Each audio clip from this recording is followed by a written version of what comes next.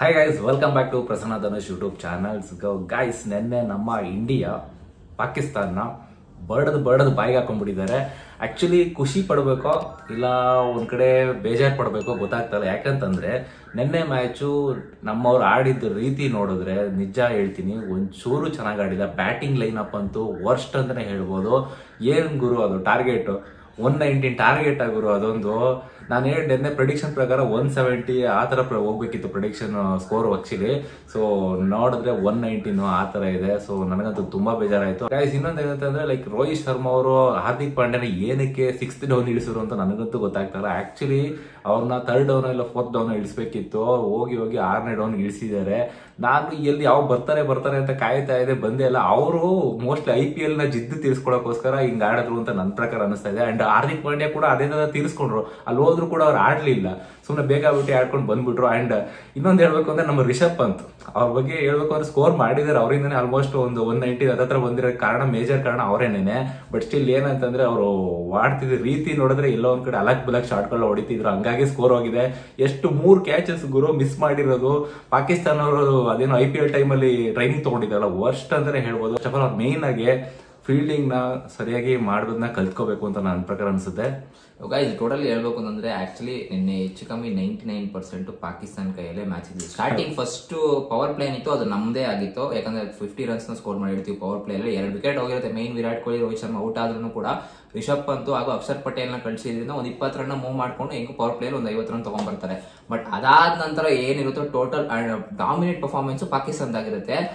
But ನಾನು ಇನ್ನೂ actually ಹದಿನಾರು ಹನ್ನೆರಡನೇ ಹತ್ತನೇ ಓವರ್ವರೆಗೂ ನೀವು ನೋಡ್ಬೋದಾಗಿತ್ತು Pakistan ಗೆಲ್ಲೋ prediction actually E S P N ಅವ್ರ ಪ್ರಕಾರ ಏಯ್ಟಿ ಸಿಕ್ಸ್ ಪರ್ಸೆಂಟ್ ಇರುತ್ತೆ. ನಮ್ದು ಬರೀ ಫೋರ್ಟೀನ್ ಪರ್ಸೆಂಟ್ ಇರುತ್ತೆ. ಅದನ್ನ ಉಲ್ಟಾ ಮಾಡಿದ್ ಏನಪ್ಪ ಅಂತಂದ್ರೆ ಬುಮ್ರಾ ಮೊದಲನೇ ಓವರ್ ಬರ್ತಾರೆ, ಹದಿನಾಲ್ಕನೇ ಓವರ್ ಅಲ್ಲಿ ಒಂದು ವಿಕೆಟ್ ತಗೊಂತಾರೆ, ಅಲ್ಲಿಗೆ ಕಟ್ ಆಫ್ ಆಗುತ್ತೆ. ಇನ್ನೊಂದ್ ಹೇಳ್ಬೇಕಂದ್ರೆ ಬುಮ್ರಾ ಅಂದಾಗಲೇ ನೆನಪಾಯ್ತು ನನಗೆ. ಈ ಶಿವಂ ಡೂಬೆನ ಏನಕ್ಕೆ ಹಾಕೊಂಡಿದ್ರು ಗೊತ್ತಿಲ್ಲ ಗುರು. ಐ ಪಿ ಎಲ್ ಅಲ್ಲಿ ಅದು ಚಿಕ್ಕ ಬೌಂಡ್ರಿಗಳಲ್ಲಿ ಹೊಡೆದ್ಬಿಟ್ಟು ತಗೊಂಬಂದು ಇಲ್ಲಿ ಹಾಕೊಂಡಿದ್ದಾರೆ ಅಂತ ನನ್ನ ಪ್ರಕಾರ ಅನಿಸ್ತದೆ. ವರ್ಸ್ಟ್ ಗುರು, ಆ ಫೀಲ್ಡಿಂಗ್ ಫಸ್ಟ್ ಕ್ಯಾಚ್ ಬಿಟ್ರಲ್ಲ ನನಗೆ, ತಗೊಂಡು ಟಿವಿಗೆ ಹೊಡೆದ್ಬಿಡೋದ ಅಂತ ಅನಿಸ್ತಿತ್ತು. ಇನ್ನು ಅಲ್ಲಿ ಫೀಲ್ಡಿಂಗ್ ಅಲ್ಲಿ ಪಾಪ ಅಲ್ಲಿ ಸ್ಟೇಡಿಯಂ ಅಲ್ಲಿ ಕೂತಿರೋರು ಎಷ್ಟು ಜನಕ್ಕೆ ಹೆಂಗಾಗಿರ್ಬೇಡಿ ಹೇಳಿ. ಅದು ಬೇರೆ ಟೀಮ್ ಮೇಲೆ ಬಿಡ್ರಿ, ಹೆಂಗಾರು ಹೋಗ್ಲಿ ಬಿಡ್ರಿ ಕ್ಯಾಚ್ ಬಿಟ್ರು ಅಂದ್ರೆ ಏನೋ ಅಂತ ಅನ್ಬೋದು. ಪಾಕಿಸ್ತಾನ ಮೇಲೆ ಅವಂತ ಟೀಮ್ ಮೇಲೆ ಮಿಸ್ಫೀಲ್ಡ್ ಮಾಡಿ ಕ್ಯಾಚ್ ಬಿಟ್ರಲ್ಲ? ನಾವ್ ಇಂಡಿಯಾದವ್ರಿಗೆ ಹಿಂಗ್ ಅನ್ಸಿದೆ ಪಾಕಿಸ್ತಾನ ಅವ್ರಿಗೆ ಆರ್ ರೌಂಡಿಂದ ಸೋತ್ರಿ ಗುರು ಒನ್ ನೈನ್ಟಿ ನೋಡ್ಬಿಟ್ಟು ಅಂತಂದ್ರೆ ಅವ್ರಿಗೆ ಹಿಂಗ್ ಅನ್ಸಿ ಕೆಲವ್ರು ಏನ್ ಮಾಡ್ಬಿಟ್ಟಿರ್ತಾರೆ ಮಲ್ಕೊಂಡ್ಬಿಟ್ಟಿರ್ತಾರೆ ಗೆದ್ವಿ ಬಿಡು ಆರಾಮ್ಸೆ. ಇನ್ನೊಂದ್ ಹೇಳ್ಬೇಕು ಅಂತಂದ್ರೆ ಅವ್ರು ಲೈವ್ ಅಲ್ಲಿ ತೋರಿಸ್ತಾ ಇದ್ರು ಪಾಕಿಸ್ತಾನಲ್ಲಿ ಸ್ಟೇಡಿಯಂ ಅಲ್ಲಿ ಕುತ್ಕೊಂಡು ಡಿಸ್ಪ್ಲೇ ಹಾಕೊಂಡು ಸ್ಟೇಡಿಯಂ ಒಳಗಡೆಯಲ್ಲಿ ವಾಚ್ ಮಾಡ್ತಾ ಇರೋದು. ಸೊ ಅಷ್ಟು ಅಭಿಮಾನ ತೋರ್ತಾ ಇದ್ರು ಪಾಪ ಪಾಕಿಸ್ತಾನ ಟೀಮ್ ಮೇಲೆ ಅವರ ಕಂಟ್ರಿಲಿ ಬಟ್ ಈ ಇಂಡಿಯಾದವ್ರು ಹೊಡೆದಿರೋ ರೀತಿ ನೋಡಿದ್ರೆ ಅವರು ಮುಟ್ ನೋಡ್ಕೋಬೇಕು ಆ ತರ ಹೊಡೆದಾಕಿದ್ದಾರೆ.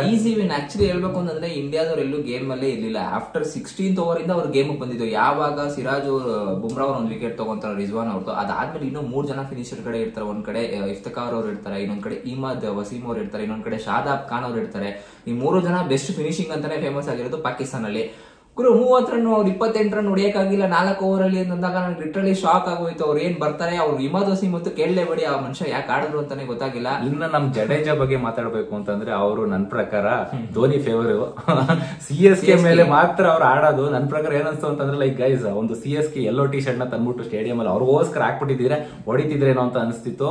ಬಟ್ ಬೇಜಾ ಮಾಡ್ಕೊಬಿಡಿ. ಯಾಕಪ್ಪ ಈಗ ಮಾತಾಡ್ತಾ ಇದ್ದಾನೆ ಇವನು ಅಂತ. ಬಟ್ ಆ ತರ ಪರ್ಫಾರ್ಮೆನ್ಸ್ ಅವ್ರದ್ದು ಬಂದ್ ಬಂದ ತಕ್ಷಣ ಯಾರು ಡಕ್ ಔಟ್ ಆಯ್ತಾರ ಗುರು? ಅದು ಆ ಬೀಟ್ ಅಮೀರ್ಗೆ- ಮಾಡ್ಬೇಕು ಹೋಗಿದ ತಕ್ಷಣ ಹಿಂಗ್ ಹೊಡೆದ್ರೆ ಹಿಂಗ್ ಕ್ಯಾಚ್ ಆಗಲ್ವಾ? ಹರ್ಷದೀಪ್ ಸಿಂಗ್ ನೋಡಿ. ಕಲ್ತ್ಕೊಬೇಕು ಆಕ್ಚುಲಿ ಹರ್ಷದೀಪ್ ನೋಡಿದ್ರೆ ನೀವು. ಹರ್ಷದೀಪ್ ಯಾವ ತರ ಡಿಫೆಂಡ್ ಮಾಡ್ತಾರೆ ಅಂತಂದ್ರೆ ಅದೇ ಹ್ಯಾಟ್ರಿಕ್ ಅಲ್ಲಿ ಈ ಅಕ್ಷರ್ ಪಟೇಲ್ ಕೂಡ ಎಷ್ಟೋ ಚೆನ್ನಾಗಿ ಆಡಿದ್ರು. ಒಂದು ಹದಿನೆಂಟನೋ ಹತ್ತೊಂಬತ್ತರನ್ನು ರನ್ ಹೊಡ್ಕೊಟ್ರು ಸ್ಟಾರ್ಟಿಂಗ್ ಅಲ್ಲಿ ವಿಕೆಟ್ ವಿರಾಟ್ ಕೊಹ್ಲಿ ಅವ್ರು ವಿಕೆಟ್ ಹೋದ ತಕ್ಷಣ ಅವರು ಬಂದು ಸ್ವಲ್ಪ ನಿಂತ್ಕೊಂಡು ಒಂದು ಹದಿನೆಂಟು ಹತ್ತೊಂಬತ್ತು ರನ್ಗಳನ್ನ ತಂದ್ಕೊಟ್ರು. ಹಂಗಾಗಿ ಸ್ವಲ್ಪ ಸ್ಕೋರ್ ಮೂವ್ ಆನ್ ಆಯ್ತು.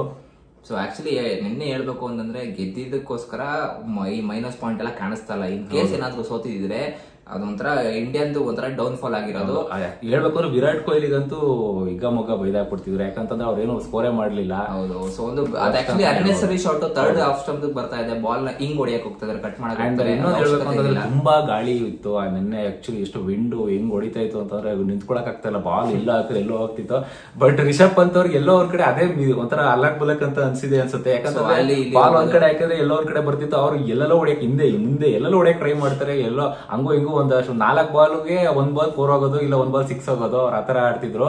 ಬಟ್ ಸ್ಟಿಲ್ ಪರವಾಗಿಲ್ಲ. ಏನು ಮಾಡಕ್ಕಾಗಲ್ಲ ಆಕ್ಸಿಡೆಂಟ್ ಇಂದ ಬಂದ್ರೆ ಅಂಡ್ ಅದ್ಭುತವಾದ ವಿಕೆಟ್ ಕೀಪಿಂಗ್ ಮಾಡಿದ್ರು. ಅಂಡ್ ಅವರಿಂದಾನೇ ಆಕ್ಚುಲಿ ಒಂದು ನಾಲ್ಕು ಕ್ಯಾಚಸ್ನ ಬಂತು. ಸೊ ಟೋಟಲ್ ಹೇಳ್ಬೇಕು ಅಂದ್ರೆ ಡಿಸರ್ವ್ಡ್ ವಿನ್ ಆಗಿದೀವಿ ಬಟ್ ಡಿಸರ್ವ್ಡ್ ಅಂತ ಹೇಳಕ್ಕಾಗಲ್ಲ. ಪಾಕಿಸ್ತಾನ ಕಡೆ ಇದ್ದಿದ್ದ ನಾವು ಎತ್ಕೊಂಡ್ ಬಂದು ಕೆಳಗಡೆ ಇಟ್ಕೊಂಡು ಇಟ್ಕೊಂಡು ನೆನ್ನೆ ಆಕ್ಚುಲಿ ಮಸ್ಟ್ ವಿನ್ ಗೇಮ್ ಆಗಿತ್ತು. ಯಾಕೆ ಅಂತಂದ್ರೆ ಸಚಿನ್ ತೆಂಡೂಲ್ಕರ್ ಮಾಸ್ಟರ್ ಬ್ಲಾಸ್ಟರ್ ಅವರು ಸ್ಟೇಡಿಯಂಗೆ ಬಂದಿದ್ರು. ಅಂಡ್ ನಮ್ಮ ನಿಮ್ಮೆಲ್ಲರ R C B N player ನಮ್ಮ ಕ್ರಿಸ್ ಗೇಲ್ ಕೂಡ ಬಂದಿದ್ರು ಅಲ್ಲಿಗೆ. ಸೊ ಯುವರಾಜ್ ಸಿಂಗ್ ಕೂಡ ಅವ್ರು ಬಂದಿದ್ರು ನೆನಪಿದಿಲ್ಲ ಯುವರಾಜ್ ಸಿಂಗ್ ಸಿಕ್ಸ್ ಹೊಡೆದಿದ್ದು, ಆರ್ ಬಾಲ್ಗೆ ಆರ್ ಸಿಕ್ಸ್ ಟೂ ತೌಸಂಡ್ ಸೆವೆನ್ ಅಲ್ಲಿ. ಸೊ ಅವರು ಕೂಡ ಬಂದಿದ್ರು. ಹಂಗಾಗಿ ವಿನ್ ಆಗ್ಲೇಬೇಕಿತ್ತು ವಿನ್ ಆಗಿದ್ದಾರೆ ಅಂಡ್ ನಮಗೂ ಕೂಡ ಖುಷಿ ಆಯಿತು. ಅಂಡ್ ನಿಮ್ಗೆ ಅನಿಸುತ್ತೆ ನಿನ್ನೆ ಮ್ಯಾಚ್ ಬಗ್ಗೆ, ದಯವಿಟ್ಟು ಕಮೆಂಟ್ ಬಾಕ್ಸ್ ತಿಳಿಸಬಹುದು ಇದೇ ತರ ಕ್ರಿಕೆಟಿಂಗ್ ಅಪ್ಡೇಟ್ಸ್ಗಾಗಿ ನಮ್ಮ ಚಾನಲ್ ಇನ್ನಾರೆಲ್ಲ ಸಬ್ಸ್ಕ್ರೈಬ್ ಮಾಡ್ಕೊಳ್ಳಿ ದಯವಿಟ್ಟು ಸಬ್ಸ್ಕ್ರೈಬ್ ಮಾಡ್ಕೊಳ್ಳಿ ಅಂಡ್ ಬೆಲ್ಲೈಕನ್ ಕೂಡ ಕ್ಲಿಕ್ ಮಾಡ್ಕೋಬಹುದು ಸೊ ಸಿಗೋಣ ಮುಂದಿನ ವಿಡಿಯೋದಲ್ಲಿ ಅಲ್ಲಿ ಬಾಯ್